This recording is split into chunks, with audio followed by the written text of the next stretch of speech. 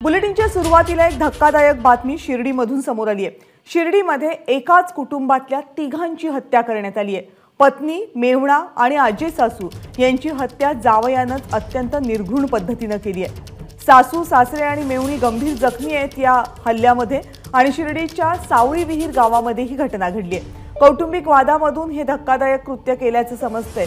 आणि पत्नी वर्षा सुरेश निकम मेवणा रोहित गायकवाड आणि आजे सासू हिरेबाई गायकवाड अशी मृतांची नावं आहेत. सुरेश आणि वर्षा यांचा विवाह नऊ वर्षांपूर्वी झाला होता. त्यांची एक मुलगी चार वर्षांची आहे दुसरी फक्त सात महिन्यांची आहे. आणि बुधवारी रात्री आरोपी सुरेश आणि त्याचा एक साथीदार गायकवाड यांच्या घरी गेले. दार उघडताच सुरेशनं चाकूनं सगळ्यांवर सपासप वार करायला सुरुवात केली. घरातील सर्व सहा जण या हल्ल्यामध्ये गंभीर जखमी झाले ज्यामध्ये सुरेश यांची पत्नी मेवणा आणि आजे सासू यांचा मृत्यू झाला. तर जखमींवर साई संस्थांच्या रुग्णालयात उपचार सुरू करण्यात आले. हत्या केल्यानंतर सुरेश फरार झाला होता पण पोलिसांनी दोनच तासात त्याला नाशिकमधल्या सिन्नरमधून अटक केली.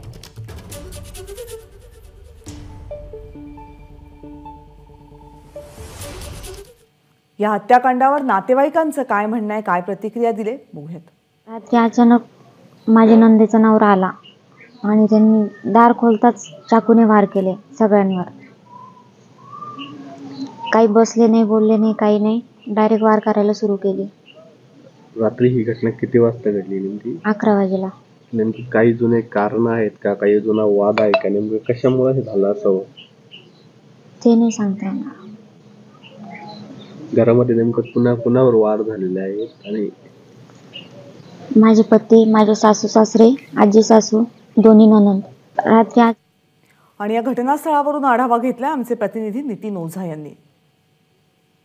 शिर्डी जवळील सावळी विहीर गावात आपल्या पतीनं आपल्या पत्नीसह मेहुण्याची व आजी सासूची हत्या केल्याची धक्कादायक घटना समोर आली आहे. या तिहेरी हत्याकांडानं अवघ्या गावावर शुककाळा पसरली. आत्ता मी त्याच गावात आहे सावळीवीर गाव.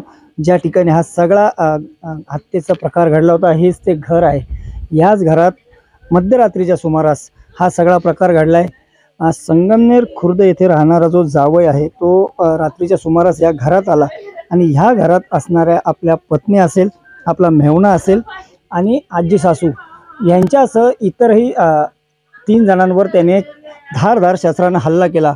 आणि त्यानंतर या हल्ल्यामध्ये तिघांचा दुर्दैवी मृत्यू झाला आहे तर तिघा जणांवर उपचार सुरू असून त्यातील एकाची प्रकृती चिंताजनक असल्याचं समजते कौटुंबिक वादातून हा सगळा हत्याकांड घडल्याची प्राथमिक माहिती समोर आलेली आहे. या हत्याकांडातील जो प्रमुख आरोपी आहे निकम याला पोलिसांनी ताब्यात घेतले त्याचबरोबर त्याच्या साथीदाराला सुद्धा ताब्यात घेतले या सगळ्या दोषींवर कठोर कारवाई व्हावी अशी मागणी आता नातेवाईक करतायत.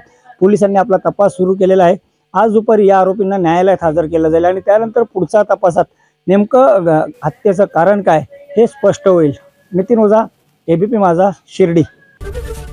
एबीपी माझा उघडा डोळे बघा नीट.